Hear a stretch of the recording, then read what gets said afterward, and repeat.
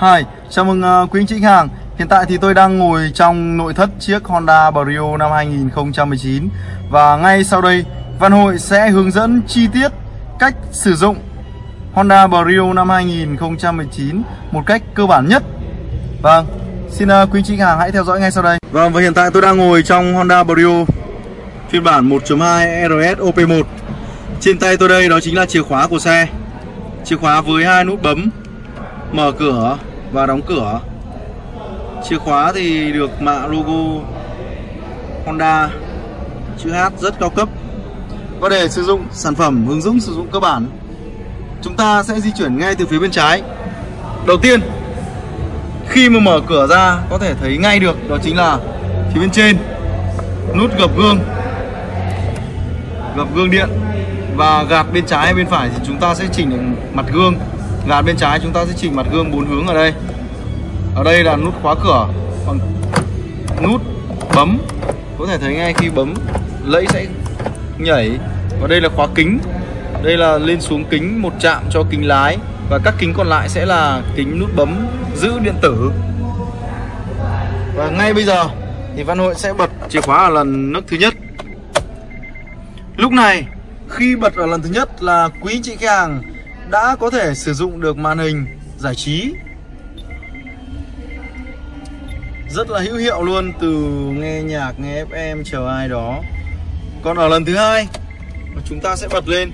Lúc này sẽ hiển thị đa thông tin lên trên à, đồng hồ bảng đồng hồ cũng như là hệ thống điều khiển từ à, điều hòa.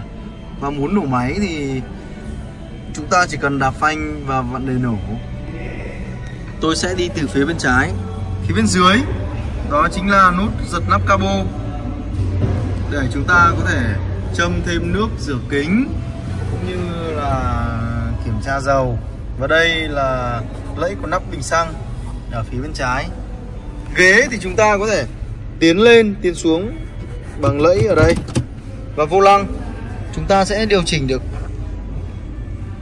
Khi chúng ta mở ra, chúng ta cao xuống lên xuống lên xuống này, rất dễ. Theo ý của chúng ta. Khi chúng ta cảm thấy thoải mái rồi, chúng ta sẽ khóa lại.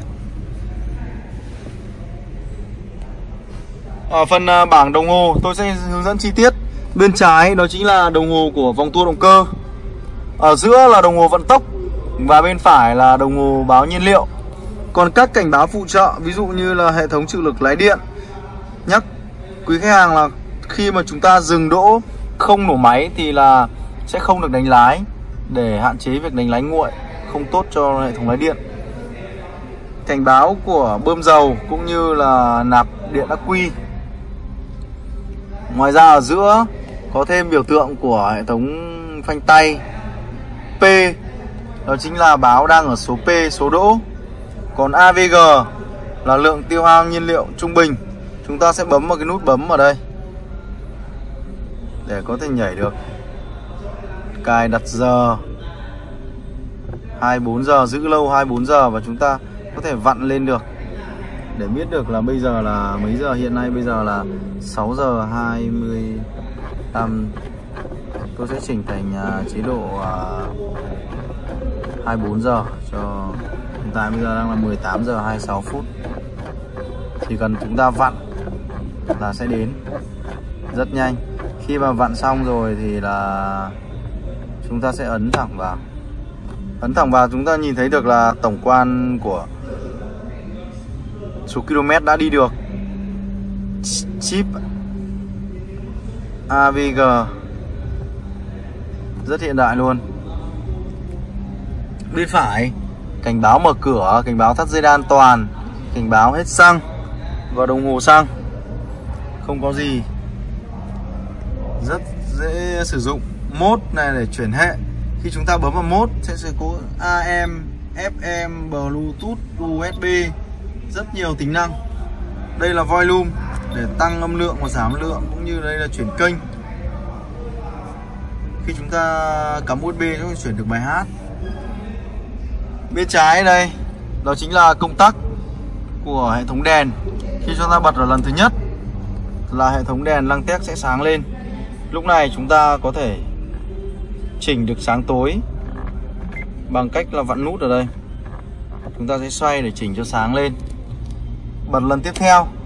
Chúng ta có hệ thống đèn cốt. Còn muốn dương pha, chúng ta sẽ đẩn xuống dưới là pha. Và ở trong là có thêm nút đèn gầm. Còn bên phải đây, đó chính là hệ thống gạt mưa. Chúng ta gạt lần thứ nhất lên thì là kính sẽ gạt chậm.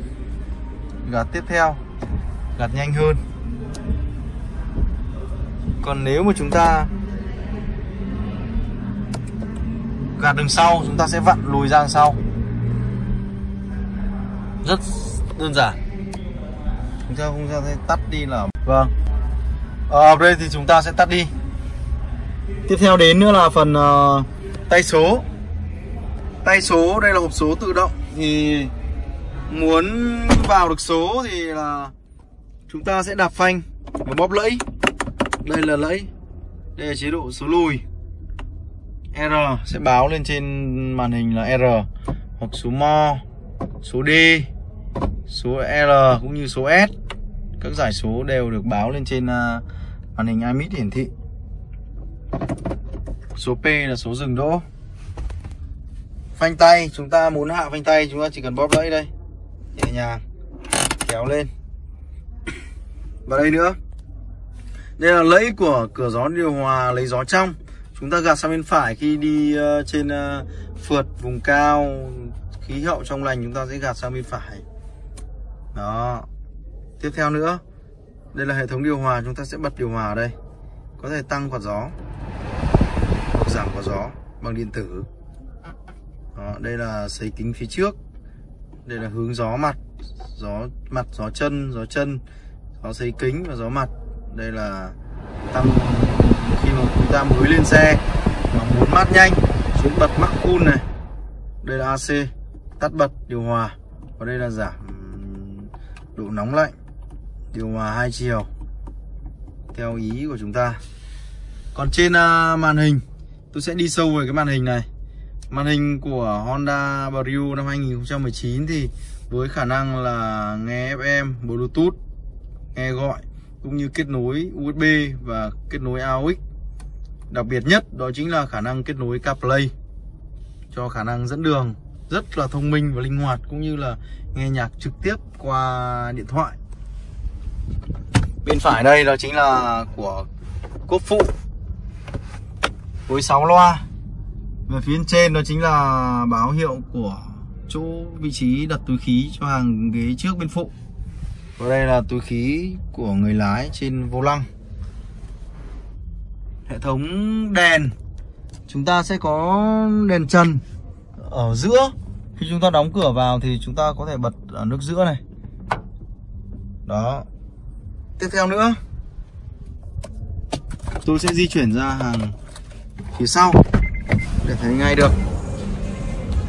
Đầu tiên là lấy bình xăng đi.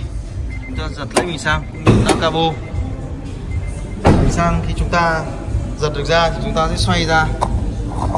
Sau đó là chúng ta sẽ gài vào đây khi đổ xăng. Chúng ta gài nhẹ nhàng vào đây.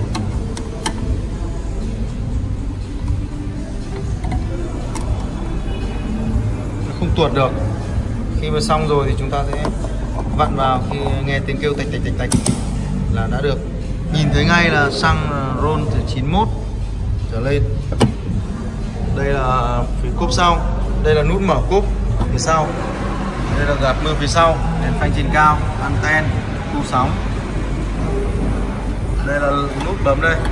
Một số xe còn à, bằng khóa cơ cơ. Như Brio là bằng nút bấm rồi. Nếu mà để gập hàng phía sau lại ấy, thì chúng ta sẽ giật cả hai bên. Giật cả bên này nữa. Và chúng ta có thể gập phẳng được xong. Đây là phần của lốp sơ cua cũng như kích tiếp lốp tay quay. Đóng cốp chúng ta sẽ kéo vào lẫy đây.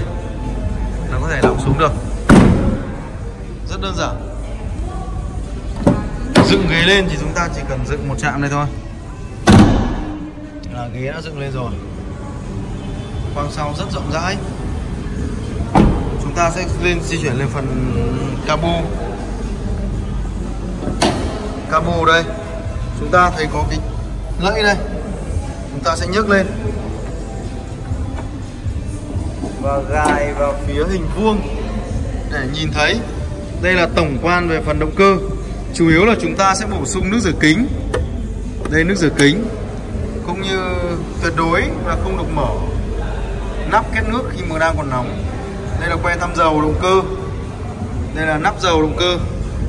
Và tiếp theo nữa, có một chi tiết, đó chính là que thăm dầu hộp số. Gần như là cái việc này thì chúng ta sẽ để dành cho bên kỹ thuật viên. Đây là báo hiệu của dầu phanh. Bình ắc quy, có thể nhìn thấy ngay. Bình ắc quy 30A 12V đây là tổng quan khoang động cơ chủ yếu chúng ta sẽ chú ý đến cái lẫy lắp cabo khi mở. Chúng ta sẽ gạt sang. Vâng. Chúng tôi sẽ thả nắp cabo xuống. Chúng ta chỉ cần thả 30 phân. Thả xuống. Vâng. Vừa rồi là tôi vừa hướng dẫn chi tiết trên phiên bản RS cũng như RS OP1 vậy chúng ta sẽ sang bên phiên bản 1.2G thì khác biệt chủ yếu sẽ có hai phần chính. Phần thứ nhất, đó chính là phần radio. Radio của Honda Brio 1.2G thì khi mà các bạn muốn mở đẩn lẫy ra, chúng ta chỉ cần ấn thẳng trực tiếp vào đây là nhấc được màn hình ra ngoài. Còn để lắp vào, chỉ việc ấn vào đặt và ấn mạnh. Là sẽ trực tiếp tự vào. Lúc này các bạn sẽ giữ vào nút extra này. Sau đó giữ nút play. Vậy là đã hoàn thiện. Ok. Rất nhiều các tính năng. Chúng ta cắm USB chúng ta sẽ gạt sang bên trái đây. Kết nối USB cũng như là AUX về cơ bản thì uh, hướng dẫn sử dụng trên Honda Brio 1.2 RS cũng như phiên bản 1.2G thì chỉ khác biệt mỗi cái phần màn hình thôi. Ngoài ra thì cũng không có sự khác biệt gì nhiều. Vẫn hộp tay số tự động, cũng như là điều khiển volume trên vô lăng hoặc tổng quan ở bảng đồng hồ.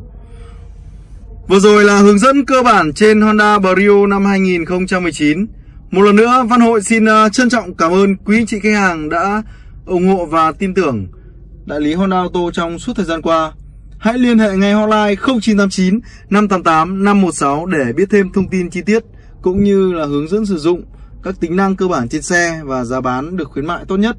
Một lần nữa Văn Hội xin trân trọng cảm ơn. Goodbye.